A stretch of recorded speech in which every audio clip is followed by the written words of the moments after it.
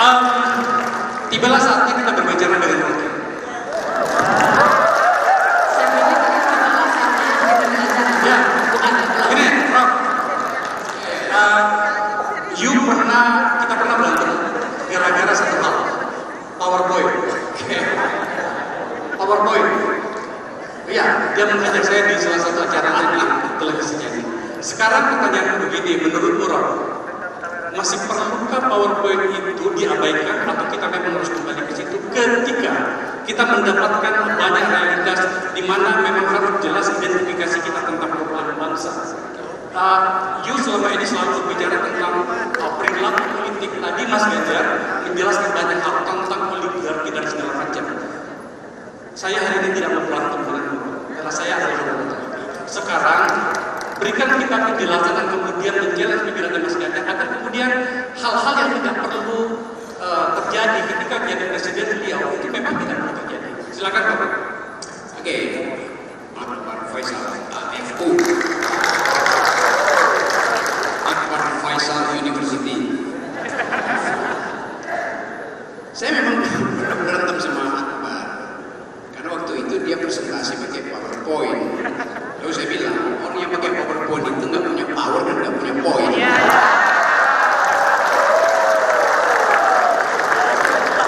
Tapi bagi seorang calon presiden yang dia ucapkan itu akan jadi arsip negara kan itu mesti pakai PowerPoint. Eh, status saya ini tersangka. Tersangka apa? Tersangka Oh ya itu. Karena ada satu ada satu kalimat Mas. Ya. Mas uh, Rob jangan dikatakan di sini.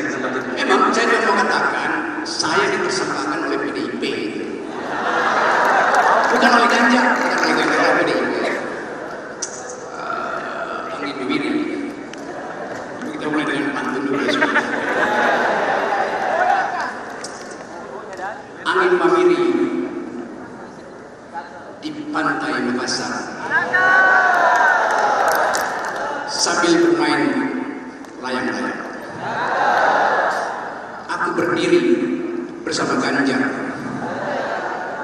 sambil menunggu Anies datang.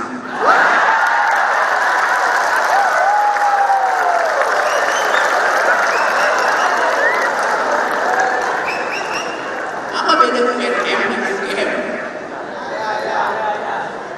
Saya berkali-kali ditolak di UGM dan diterima di UNM.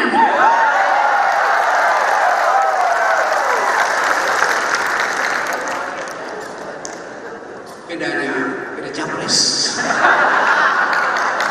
tapi saya nggak peduli dengan perbedaan itu saya mau berbeda di dalam upaya untuk memperlihatkan apa sebetulnya ide di belakang calon presiden Ganjar tadi saya menyimak dengan cara saksama dan dalam tempo yang tidak cukup singkat beliau menerangkan problemnya lalu timbul pertanyaan biasanya yang diucapkan adalah jalan keluar. Karena problem itu ada di media massa segala macam. Problem Pak Ganjar nggak beda dengan problem Pak Prabowo dan Anies. Tapi jalan keluarnya apa? Kan semua problem bangsa ini detail ada di media redaksi. Misalnya, kalau kita mau supaya disability itu menjadi rendah, kalau kita mau penegakan hukum itu naik dari indeks yang tadi, kalau kita mau hak asasi manusia itu diucapkan dari dasar kewarganegaraan bukan oleh negara. Pertanyaannya adalah misalnya berapa banyak menteri yang harus dididik supaya paham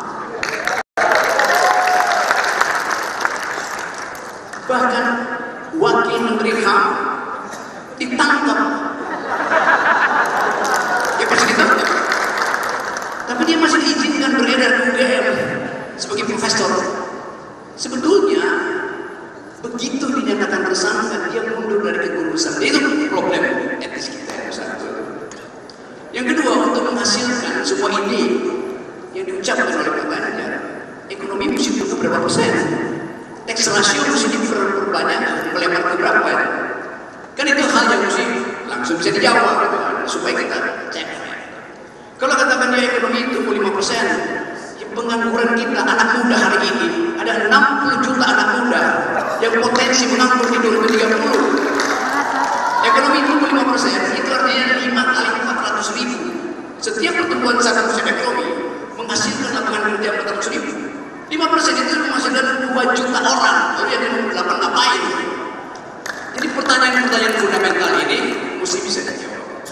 Per hari ini ada 19,7 manusia Indonesia tidur malam dengan perut kosong. Karena tingkat kelaparan di Indonesia paling tinggi di Asia. Per hari ini ada 15,5 juta gangguan mental dan akses pada kesehatan mental hanya 2 persen. Jadi ini real yang mesti dijawab secara tuntas.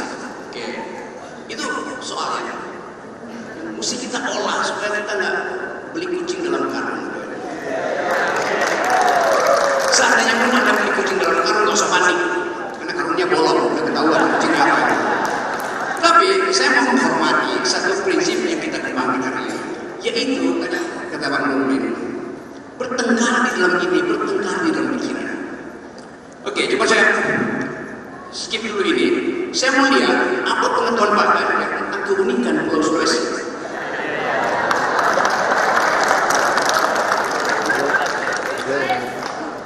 Apakah Pulau Sulawesi bagian dari NKRI dan nama? Silakan Pak Ganjar.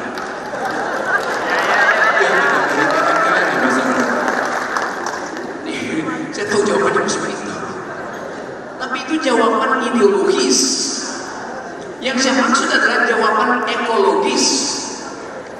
Pulau Sulawesi dikenal dengan garis Walase.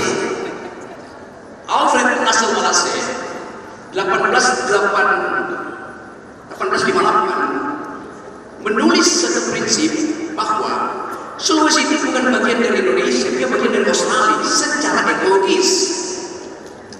Faunanya beda dengan di barat Kalimantan dan itu persis lewat di Selat Makassar.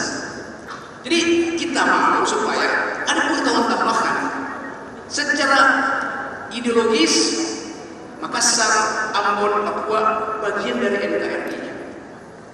Tapi secara ekologis kita lebih dekat dengan Australia dan lempeng Australia.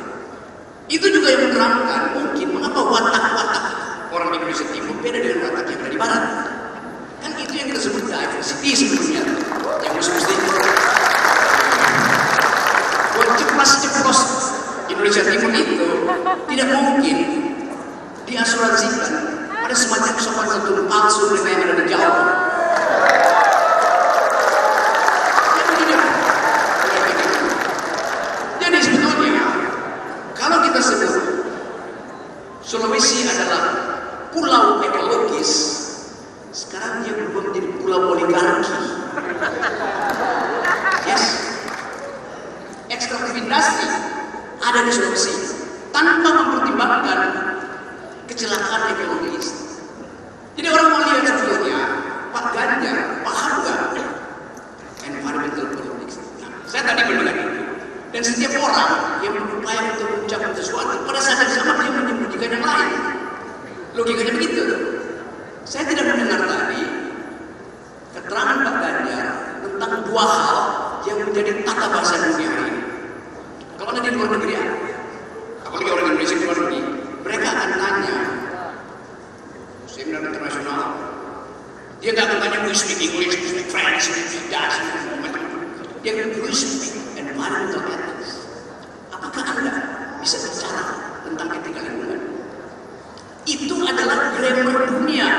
Dan kita tahu bahwa tanggal 30 September nanti, Indonesia akan kembali masuk dalam perundingan efek rumah kaca, pemanasan bumi di Dubai.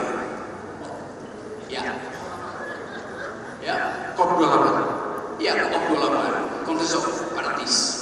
Itu forum PBB yang terus mengevaluasi kita. Kita mau misalnya, kalau saya tanya, apakah Pak Ganjar pro IKN? Karena IKN itu adalah sumber pemanasan global. Pak Jokowi bilang kita pindahkan Jakarta yang tenggelam ke IKN. Kenapa? Bukan karena Jakarta yang panas, tapi planet ini panas. Begitu IKN dipindahin ke Kalimantan, penggalian di Kalimantan reboisasi, direboisasi, menimbulkan panas baru. Kalimantan itu, Kalimantan itu dijepit oleh dua panas matahari dan batu bara. Begitu hutan dipotong, panasnya naik. Apa yang terjadi setelah planetari itu? Panas penggalian IKN di Kalimantan akan menambah panas di Jakarta. Jadi air es akan meleleh di kutub utara, lalu Jakarta tenggelam. Dengan kata lain, IKN itulah yang akan menenggelamkan Jakarta. Kan begitu cara berpikir ekologis ya. Saya explain itu dalam upaya untuk menguji apakah paradigma kita sampai atau tidak. Jadi sekali lagi, silakan komentar secara umum. Saya akan tuntut satu kejelasan berpikir pada semua calon presiden. Anies, Prabowo, semuanya mesti kita uji. Kita kuras otaknya tuh. Ada isinya apa enggak? Terima kasih. Ya, Bung Rocky, perasaan tadi kami minta Anda untuk menyampaikan pertanyaan dengan orasi sepihak. Nih, nih, nih, nih. Pertanyaannya apa selain Pulau Sulawesi itu bagian dari NKRI? Selain itu apa pertanyaannya? Saya tidak merasa. Saya kasih argumen. Oke. Ini bukan argumentasi. Semua yang saya terangkan tadi factual based dari situ. Nah saya ingin seorang calon presiden itu bukan diuji datanya, paradigmanya. Jadi saya terangkan itu. Ya kalau ada pertanyaan gampangannya misalnya, saya tanya dengan gampang misalnya, berapa nilai Anda berikan kepada Jokowi dalam soal partai Oke, kita terima argumen itu, Rob. Pak Ganjar, monggo. Selalu tertarik dengan Rocky apa disampaikan. Tepuk tangannya meriah. Oke, good. Anda tidak menyampaikan itu? Iya, memang tidak ada kemarin permintaan maka saya bilang saya mau cerita apa boleh nggak yang bisa membantu saya soal ekonomi muda dan ekonomi hijau. Tapi jangan tanya data lagi. Saya sampaikan data itu ada selera. Pak Ganjar ngomongnya gede banget.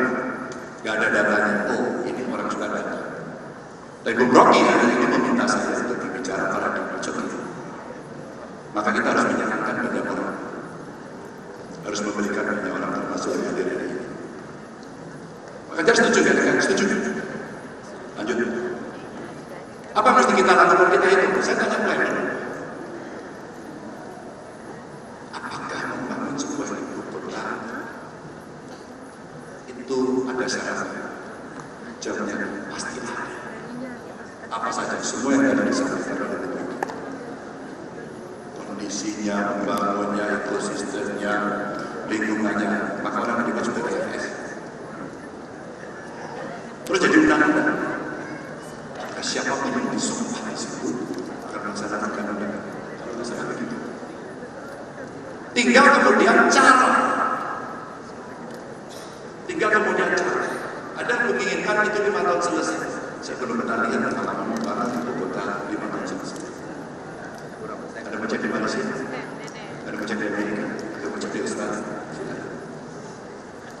Tentu prasyaratnya akan licin. Dan itulah sebenarnya ketentuan teknis yang mesti dilihat. Ya di COP besok saat kami ketemu kemarin dengan beberapa orang. Di COP besok itu juru takdir. Apakah gitu protokol masa itu akan ditaati atau tidak? Apakah pengurangan emisi akan dilakukan atau tidak? Maka suka tidak suka kami kemudian menghitung. Kalau kemudian kita memenuhi itu semua dan kita akan lebih cepat agar tidak terjadi global warming. Apa yang dilakukan? Oh, transisi energi di sini. Boleh ditampilkan nggak? Ya, Mohon silakan. dibantu Mas, materi slide-nya Mas Ganjar untuk ditampilkan di sini. Kita coba menghitung, lagi-lagi angka yang tidak suka saya minta maaf. Ini pernah kita alami. Ini contoh saja.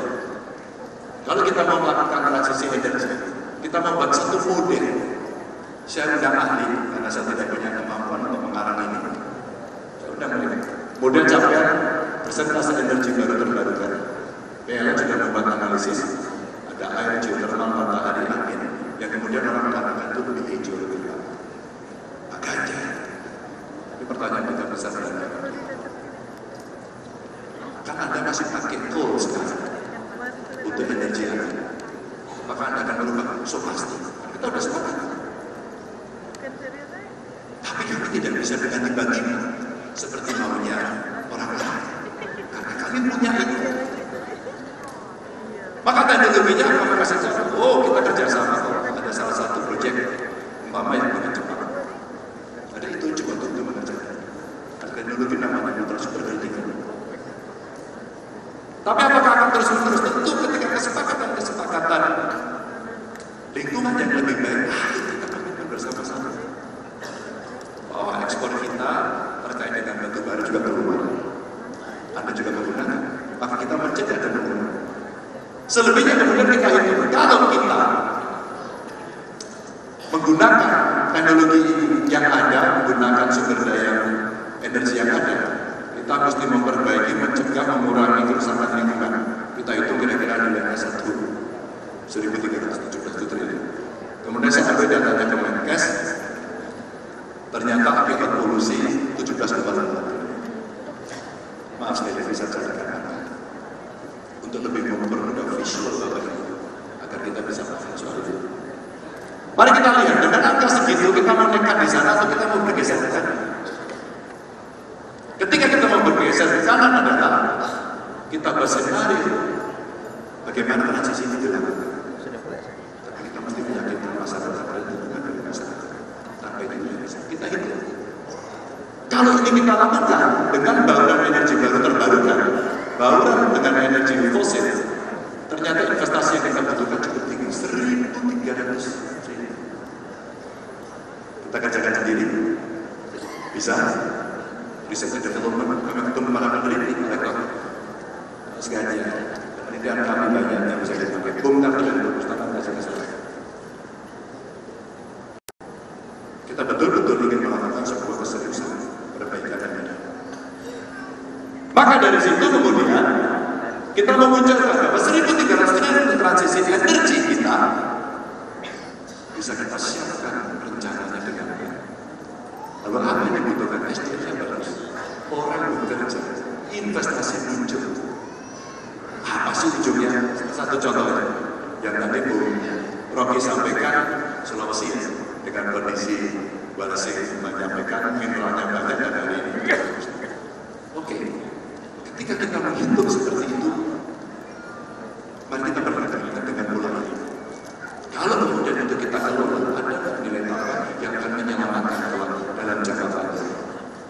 Itu artinya yang sekarang dinamakan adalah teknologi baterai kelas dunia. Kita punya punya kesempatan. Kenapa tidak kita ambil? Bagaimana menjaga lingkungan? Oke, kita ambil orang bagaimana best practices mining yang harus kita lakukan. Oh. Setelah itu, SDM yang kuat, yang membangun, ada berapa? Butuh berapa lama kita persiapkan mereka untuk kemudian dia bisa mengisi itu? Tapi karena waktu tertentu tidak bisa kita mesti kolaborasi, tidak bisa sendiri. Pendidikan, penciptaan lapangan kerja karena kita bisa lakukan itu. Ngobrol saya dengan Bu Benny, kita bisa lestari. Dia punya lithium, tapi nikelnya dari kita. Kalau dalam konteks politik luar negeri untuk kepentingan nasional kita secara bebas, bebas memilih, bebas berteman untuk kepentingan nasional. Maka salah satu contoh kerjasama saja dalam konteks energi baru terbarukan salah satunya adalah ke sana. Kita siapkan itu semuanya, maka kita hidup. Dan yang akan menciptakan lapangan kerja yang banyak ada di sana. Semua coba kita atur untuk creation. Potensi lapangan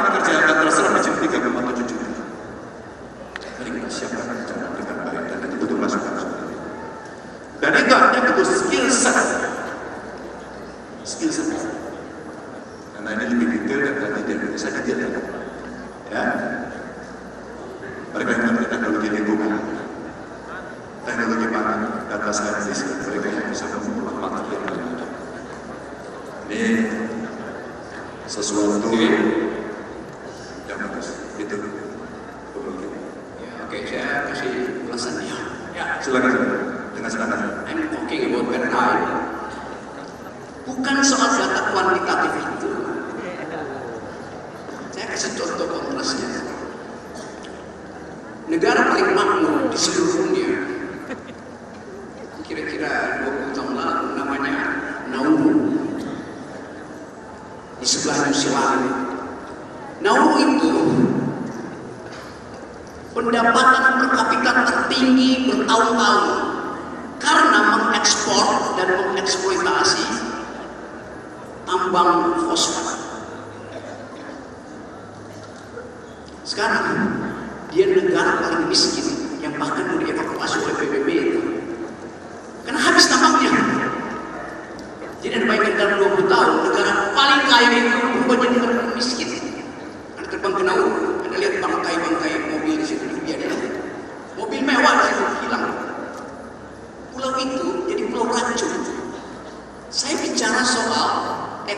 seluruh free Bukan soal berapa antaranya yang dilimpahkan ke Kalimantan. Jadi dalilnya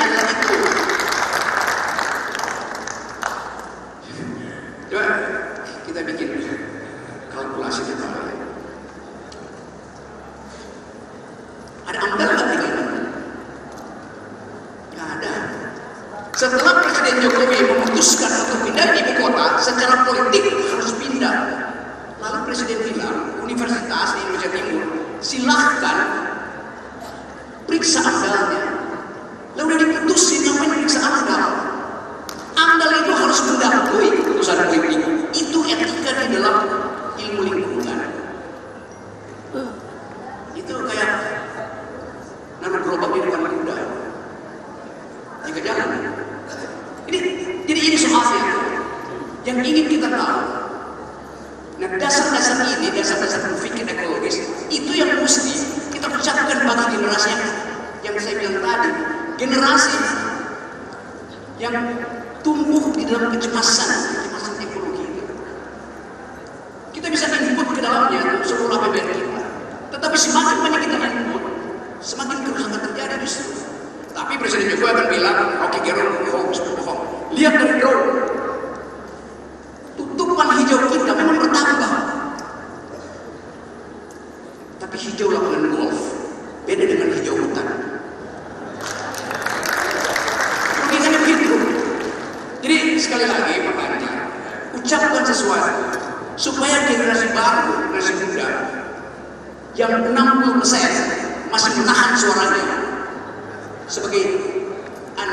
voters atau swing voters tahu bahwa Ganjar Pranowo bicara dua hal yang menjadi trend dunia. Satu soal lingkungan dua soal security global.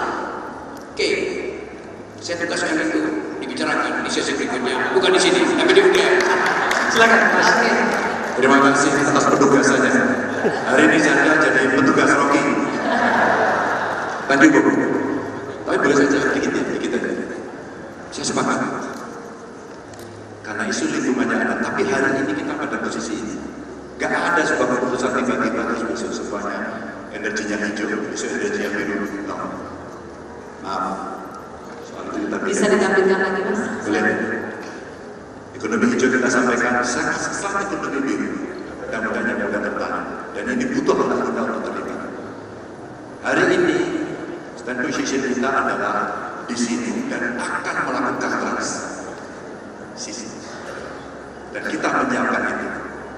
vida para la vida.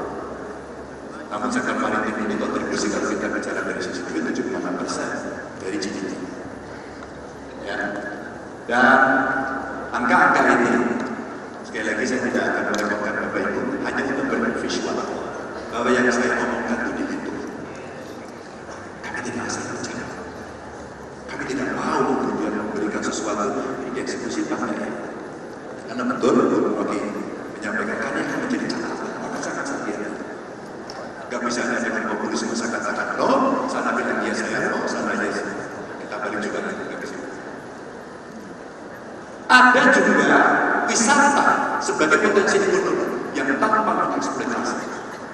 Ini masukan dari Pak Saya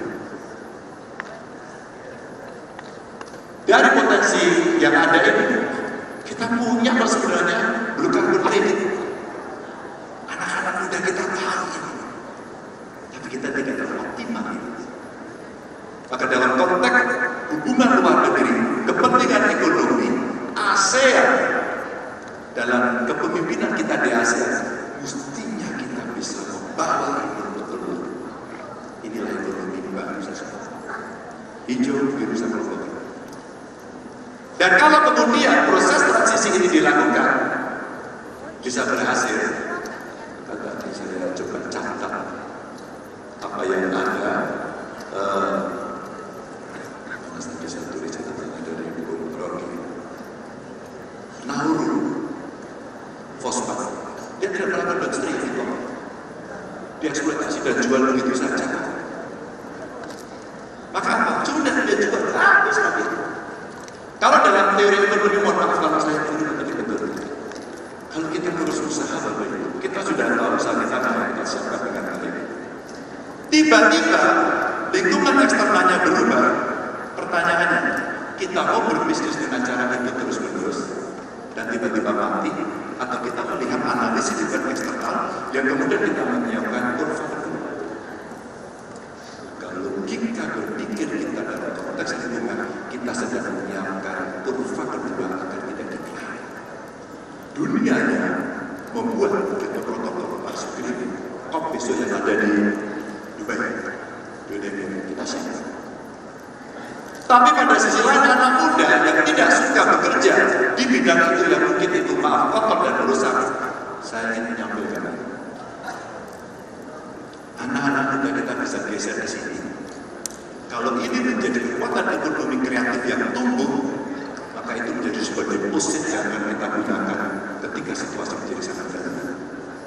Tapi kita bisa mengajak migrasi dan cara berpikir konsep agar anak-anak yang muda mau untuk masuk di sini. Inilah e-commerce, game, AI, kreatif, konten, ya.